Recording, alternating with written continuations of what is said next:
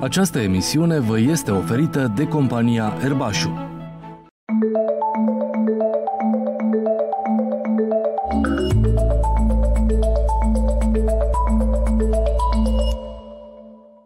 Doamnelor, domnilor, bine v-am găsit la o nouă ediție a emisiunii Strategie în Alb și Negru. Sunt Delia Duca Iliescu și vă invit să aflați noutăți din lumea șahului.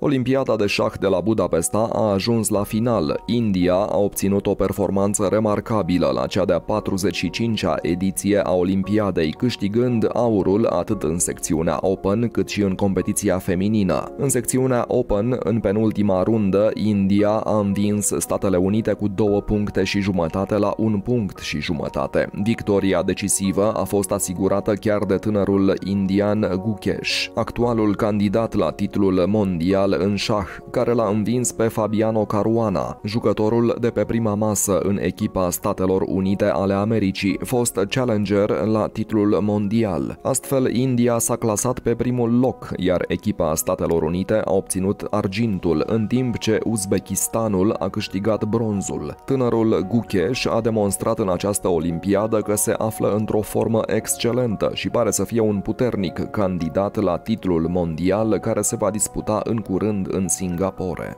I'm here with Gukesh. Congratulations to your amazing victory. How do you feel after a game like this? Uh, great. I am really happy with the result, and I'm really happy with uh, with how I played and how the whole team played. Uh, it was one of the most enjoyable experiences of my career so far. I mean, already before the game, you had a great tournament, a performance over 3,000 did this stress you a little bit that you already like performed so good that everyone has like kind of this expectation that you will stay performing so good? Oh, actually, uh, in the last round, I I had more problems trying to get myself to feel some like fire. I mean, I I after yesterday's game, we, it, it was pretty much clear that India would win the tournament, and we were all already like pretty much celebrating. So uh, it was kind of hard to get myself to uh, focus and come here and do the job. So, yeah, I did not really feel any pressure. I, I, I just came here and managed to play a good game. You said you were already celebrating a little bit yesterday. How did that look like uh, with your team? Celebrating meaning not like partying or anything, but already we were all. Uh, I mean, already I was replying to some congratulatory messages, and we were laughing enjoying in the team meetings. So, yeah, probably the real celebration will be tonight. And uh, one really last question: Are you nervous for the World Chess Championship? I guess everybody is. I'm, I mean, both the players are. Like, uh, it's it's the biggest stage in chess, no doubt about that, and uh, there will surely be nerves, a lot of nerves, and uh, that is what uh, is fun about the fun about the match. So yeah, just really looking forward to feeling all the nerves. I mean, when I go to Singapore, it'll be like even more serious. So, uh, quite eager to go there and, and play the match. În competiția feminină, echipa Indiei a câștigat de asemenea, reușind pentru prima dată să câștige aurul olimpic, după o victorie categorică împotriva echipei feminine a Azerbaijanului. Performanța istorică vine după ce la Olimpiada din 2022 India a ratat aurul pe teren propriu. Thank you very much, ladies and gentlemen. And now we just arrived to the final part of the event when we are awarding teams. And for this, we want to invite on the stage Grandmaster Vishwanathan Anand, five times world champion.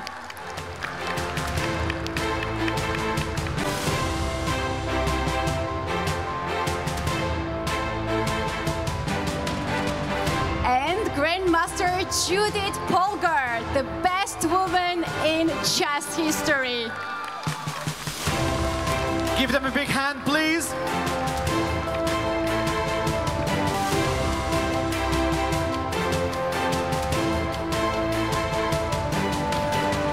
And as we said earlier, we just got to the most exciting part of the evening. Are you all excited? So, ladies and gentlemen, women's section. The, the bronze medal goes to Team USA.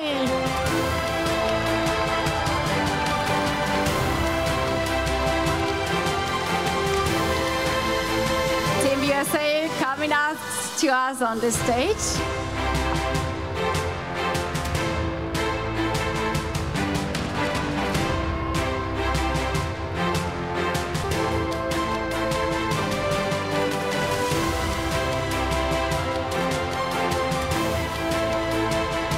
The silver medal, ladies and gentlemen, goes to Team Kazakhstan.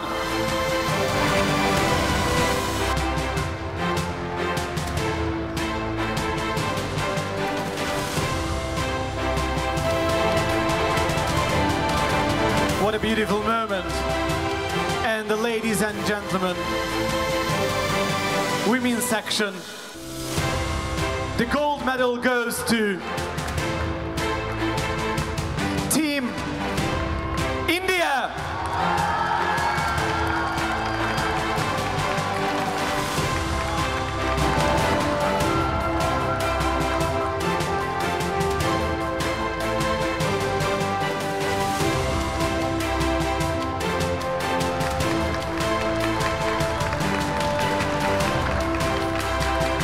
Thank you very much and a big congratulations. Thank you. And now we go to the next section. Open section. The bronze medal. Ladies and gentlemen, goes to Uzbekistan.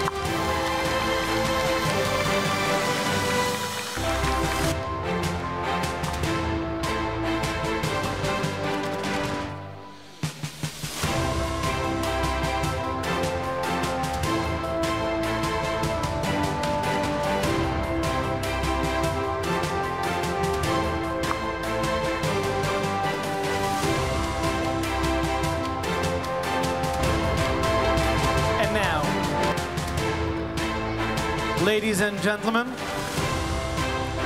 open section. And the winner is Team India.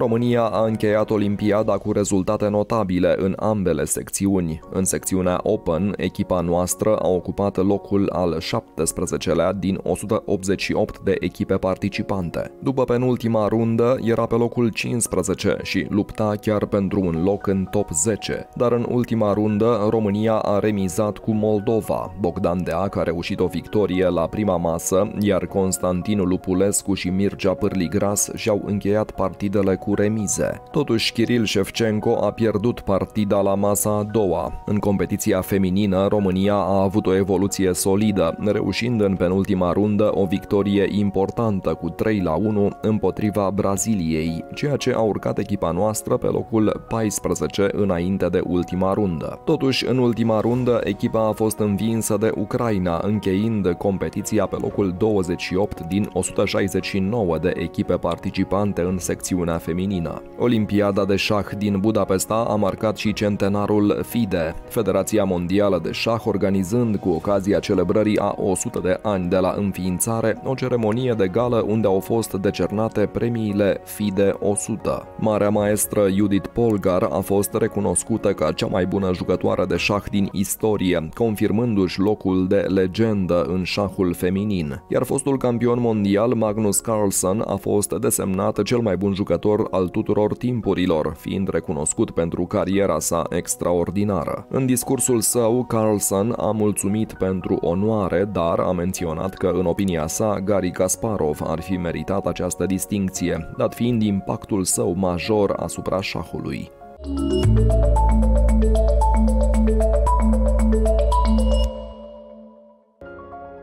Întotdeauna există riscul de a fi prea încrezător atunci când te pregătești să înfrunți un jucător mai slab cotat.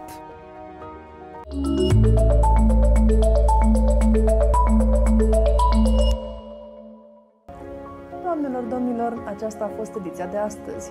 Vă aștept și data viitoare cu alte noutăți din lumea șahului. O săptămână frumoasă să aveți și nu uitați de gimnastica minții.